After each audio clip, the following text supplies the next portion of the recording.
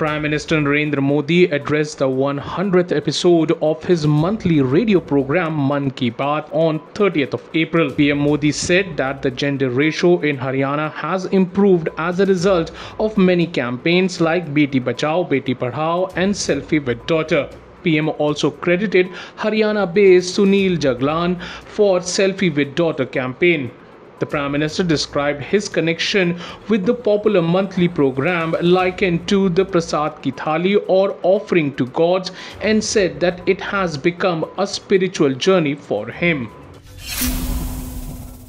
Addressing the 100th episode of his monthly radio program on Sunday, Prime Minister Narendra Modi said that Mann Ki Baat, which started on the day of Vijay Dashmi on October 2014, has become a unique festival of goodness and positivity for the people. PM further said that he received thousands of letters and messages from people and was swept away by emotions while reading them.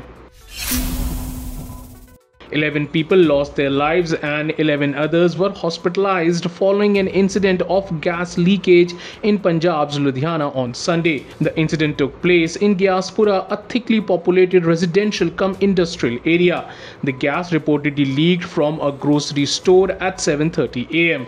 A team of doctors and ambulances were also called to the spot. A national disaster response force team is present at the spot for a rescue The Forest Rangers office in Manipur's Churachandpur area was set ablaze by protesters as several fire engines were pressed into action to put out the fire. The district administration has imposed a night curfew in the district from 5 pm to 5 am for an indefinite period as the situation remained tense. Incidents of violence have also been reported from the tribal dominated Kangpokpi and Tengnoupal district since Friday night.